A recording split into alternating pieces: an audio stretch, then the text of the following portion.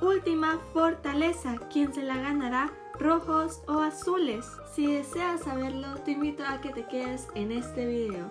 Yo soy Yui y sean bienvenidos una vez más a este canal en el cual les hablamos sobre su reality favorito, Hexatlón Estados Unidos Edition All Star en su séptima temporada. En este video estaremos hablando un poco de lo que va a suceder este jueves 5 de enero, así que vamos a estar analizando lo que sucederá en la última fortaleza.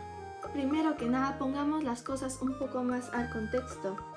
En el juego más reciente ganaron los azules 25 mil dólares, 5 mil dólares cada uno de los participantes de este grupo. Esto mismo quiere decir que se llevaron uno de los mejores premios de esta temporada y pues estaremos viendo a unos azules bastante motivados, motivados para llevarse este premio tan espectacular. Pero ahora, analicemos un poco de quién se va a llevar la última fortaleza. Los spoilers como tal aún no han circulado por internet, pero pensamos que esta fortaleza la podrían llevar los azules por la motivación que tienen de haberse llevado 25 mil dólares, uno de los mejores premios de la temporada que sin duda van a estar disfrutando cada uno de los integrantes del equipo de los azules.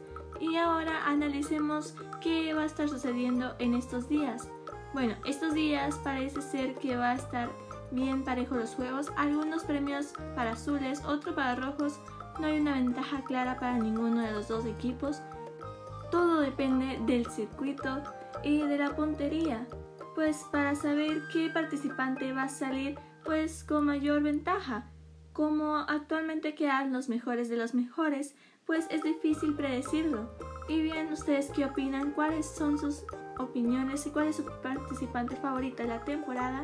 Y además, ¿quién piensan ustedes que se va a llevar los 200 mil dólares? De momento ha sido todo de mi parte. No olviden darle like si les está gustando la temporada.